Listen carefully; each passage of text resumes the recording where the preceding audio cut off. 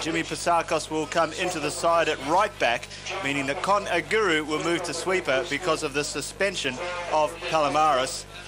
George Svigos and Nick Saltis, of course, the two high scorers in the Port Melbourne side. They are the danger men here today.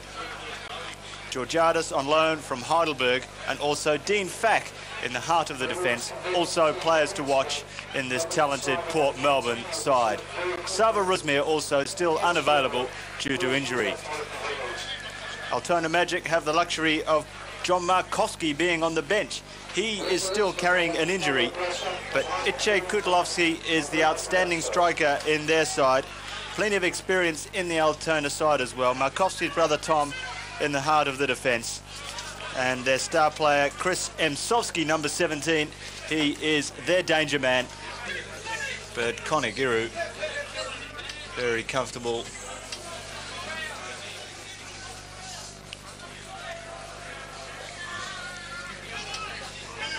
Awkward there, and he's been caught out by Svigos. First good chance here for Port. Ooh. And it was Kotsagianidis who couldn't find his feet quickly enough.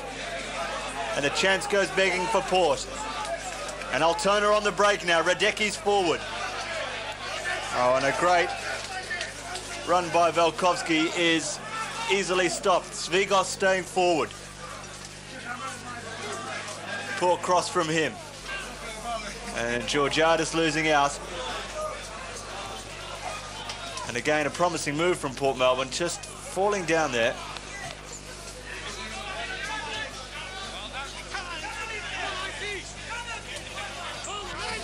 Svigos under real pressure there from Kutlasovsky, and it showed too because he gave the ball away. Atanisovsky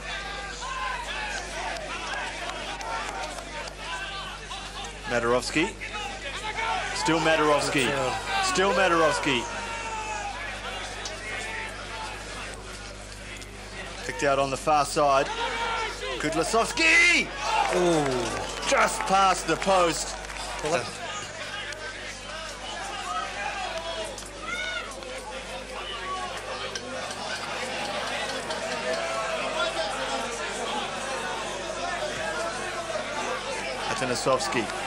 Here's the number 17, Emsovsky, another player who likes to run at defenders.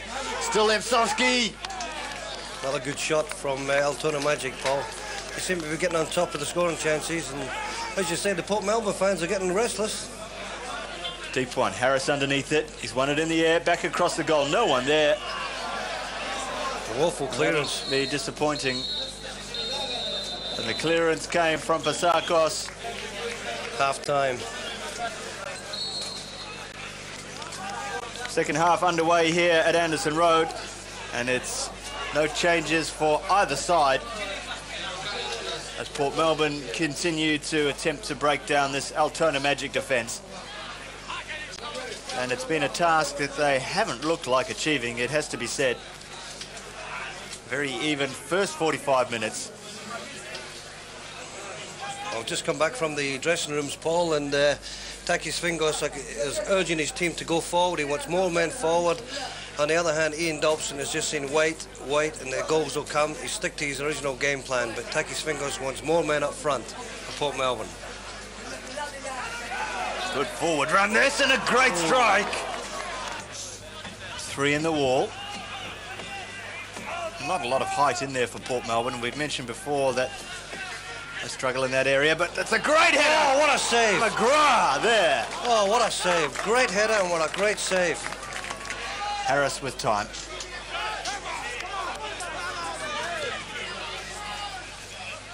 Kudlasovsky, one of the few touches he's had, but what a good bit of play that was. Iche Kudlasovsky. Kudlasovsky, great recovery there. This is better from Altona. Atanovsky. Haven't seen him at all in the second half until now. Good run this from Atanovsky. Good ball in. Anastasiadis took Dangerous it well. Ball. Dangerous ball, that one, Paul. Uh, Runye, when he has been called upon. That wasn't a strong tackle. He, Has always been there. And he's been called out now, though. Port have three forward. Sweeping ball. Great pass, too. Saltis cutting inside. Still Saltis.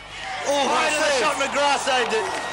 Oh, what a great save from Darren McGrath and the magic goal there.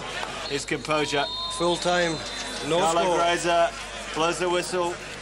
No goals in the major semi-final. That means we've got extra time. Straight in and across. Oh. And Anastasiadis just palmed it away. Difficult one, that one. Very awkward in these dewy conditions. Well, when these two sides met here in the normal rounds of play, it was another tight game. 1-0 the final score there. Port Melbourne edging Altona out. It was Nick Saltis who scored on that day. A marvellous goal. He'd be happy to score any kind of goal tonight. Certainly would. Nice play. Good play. Well and a target. disappointing finish. Second half of injury time. Port Melbourne on the attack straight away. Free kick by Markowski.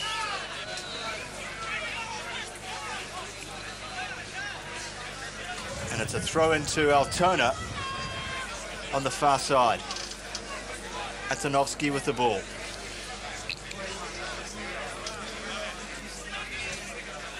Svetkovsky. Break Good play this for Altona. Radecki's in there. This is another forceful run. Still, is this it? The opening goal That's it. finally comes. And I think the scorer was Atanovsky.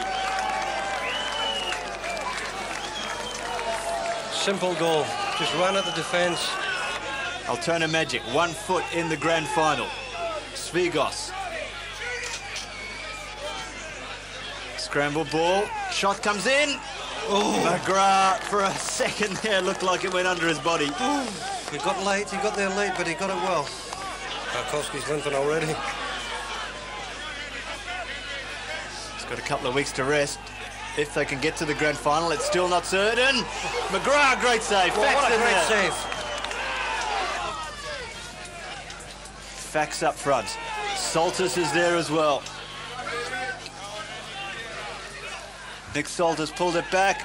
Tasevsky just hacked it away for a corner. Last gasp coming up. Still a chance. And all hell will break loose if they equalise here, Paul. Oh, no corner kick.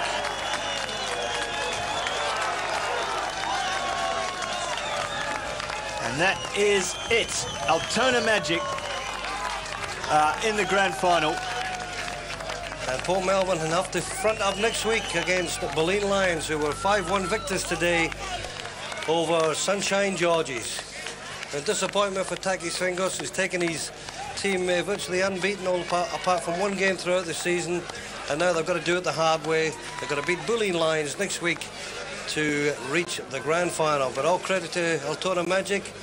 A clinical game on their behalf, tactical, and uh, an all-important goal in extra time gives them a gift right into the finals.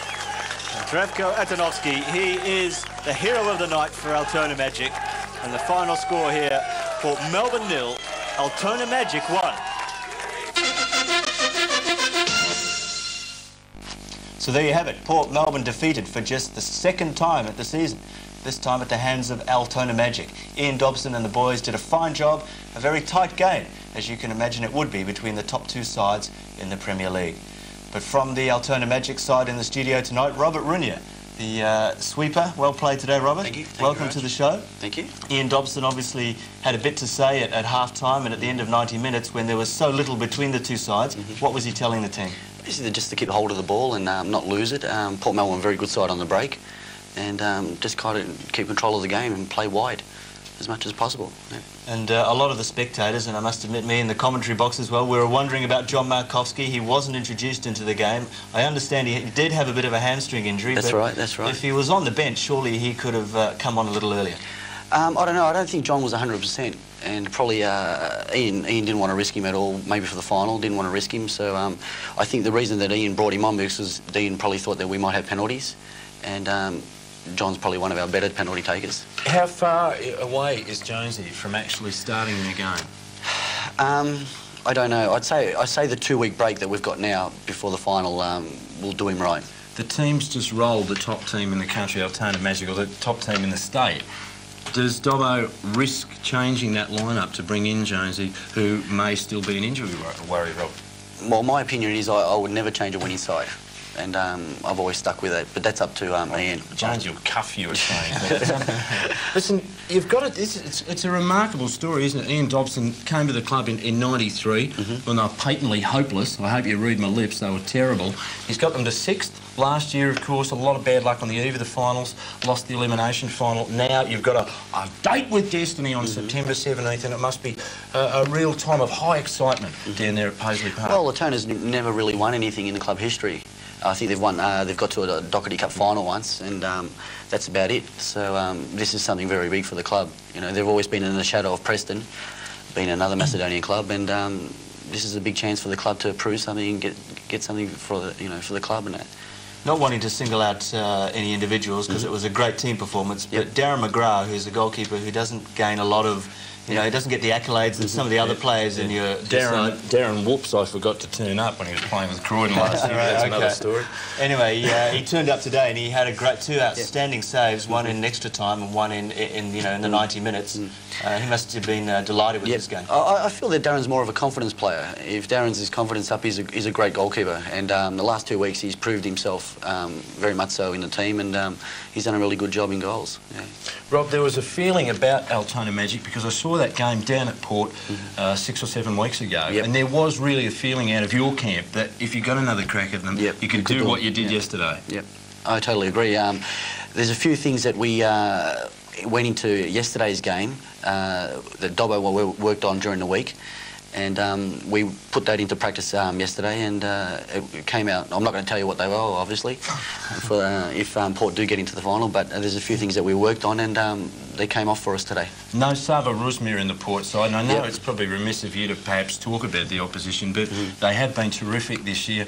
Um, the absence of Rusmir, could that make the difference, perhaps? It could. It could. I liked um, yesterday's game. It could have gone either way. Um, I felt, and um, I think Sava is a, a good left-sided player, and I miss him, miss him on the left-hand side.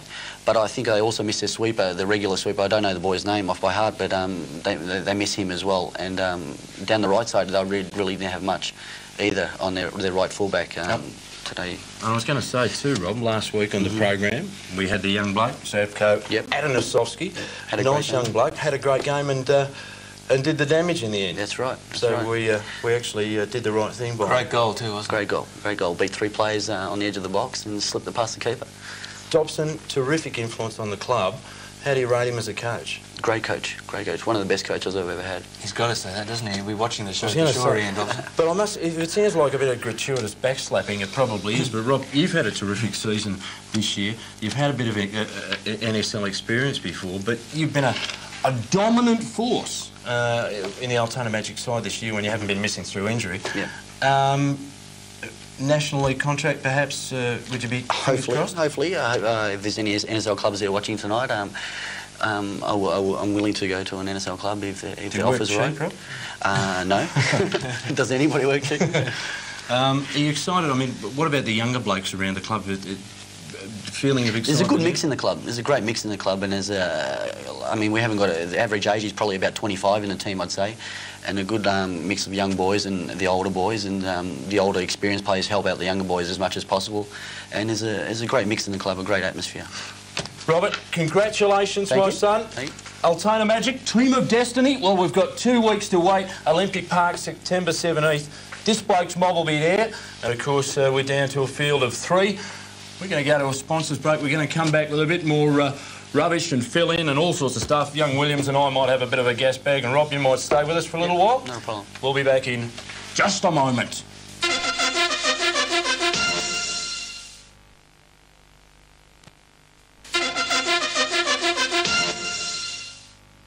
Okay, so you're back with the soccer show. This first Monday in September, the weather at the weekend was glorious. Down at Port Melbourne for the two finals na- uh, matches, Mother Nature, young Williams, smiling on us. Big crowd in. It was a re- there was really was a feel about the stadium and uh, uh, two terrific games. And I would hazard a guess and say that if the National League talent scouts have got any sort of nous whatsoever, they should be down doing down a bit of scouting because there's some, I mean, some terrific talent on display, um, particularly the last floor clubs in the competition. Some outstanding individuals, without a doubt, and I was impressed with uh, some of Robert's teammates. The individual ability to take on players in the attacking third of the field from your side is probably the best of the four sides remaining in the competition. But one of the great things about Anderson Road is, and we've done some games at some fairly average grounds so far this season, but on a, on a good firm pitch with a good grass, we see the standard of the games was uh, was quite outstanding. You, have always had a reputation down at Paisley Park of playing a bit of uh, bit of good football, fanny merchants, as some might call you. But I mean, uh, you know, that's that's the added dimension now. You've got a bit of steel about the side too, a bit of character. Um, Dobbo's trying to bring in, bring that part in, bit of the British game, bit of the European game into the team because I think you need that sort of game. The, the world game is, is is that type of game where you've got to have everything involved, a bit of height and a bit of skill. And um, Dobbo's trying to bring that into our game. We play with the two wide arm fullbacks who attack a lot with their speed and skill, and um, Dobbo's been trying to bring that in over the last couple of years since he's been at the club. Rob, we were talking uh, before we came on uh, onto the show, and you were saying that you were prepared for Port Melbourne's attacks. In that you'd done your research, you were beaten by that Nick Saltis goal. A great goal it was too by Yep. Saltis in the uh, normal rounds of play. But you were ready for the types of attacks that Port Yep. could throw at you. And, and to be honest, you weren't trouble today in the defence. No, no, not not so much. Um, uh, the the game we had, you're talking about, which was about six rounds ago. Um, Dobbo studied that game a lot, and uh, we made a few mistakes. And um, the like I said to Greg earlier, um, the whole week we were working on um, particular um, instances during that game where we could try to fix that up in yesterday's game. And um, today it worked. I mean, yesterday it worked. Sorry, and um, it's been good. Yeah. Well, well researched. I hope you, you've got the same sort of uh, game plans happening for, for the grand final. Robert Runya from uh, Altona Magic into the grand final. Don't forget, we've got lots to talk about. Big coverage of the last two games of the series. Grand final preview program next Monday, and of course, extended coverage on uh, grand final weekend.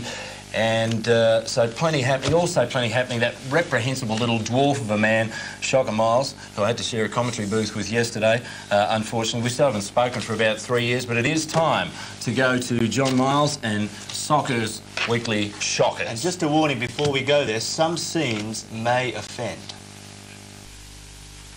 nice touch, Paul. Now,